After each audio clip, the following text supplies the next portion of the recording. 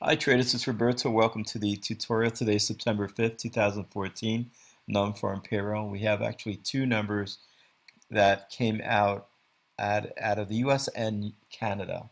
The first one was non-farm payroll. Forecast was 226.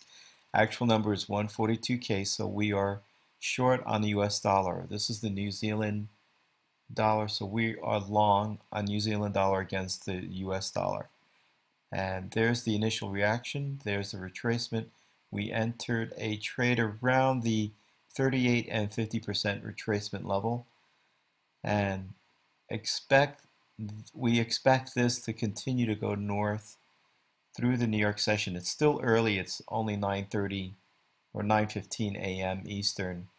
So I will stay in this trade through the New York session and possibly exit around 11, 12 noon Eastern. The other trade uh, is pound Canadian. I entered this trade a bit late. There's the initial reaction, the pullback. The entry should have been down here at 61%, and I took the trade actually a bit late on this trade.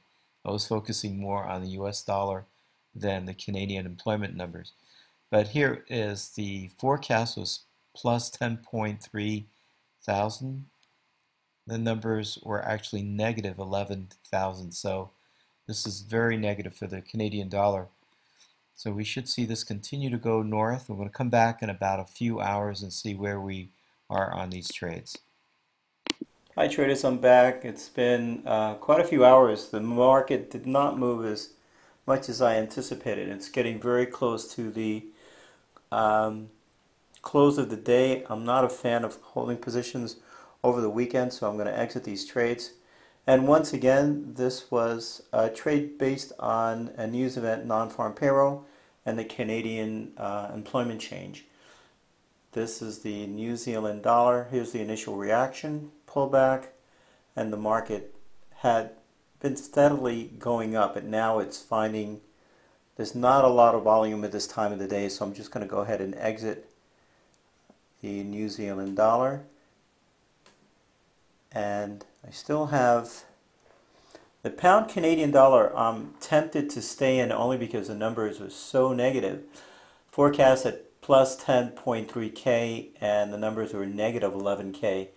So technically, this pair should continue to go north next week. But what I'm going to do is exit this trade anyway because it is Friday and I don't like holding positions over the weekend.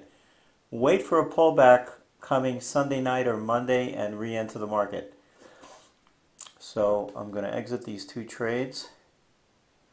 And that's it for this tutorial. If you have any questions, if you are interested in any of our programs, just log on to fx-northwest.com. Uh, we have um, three or four different products you're interested in.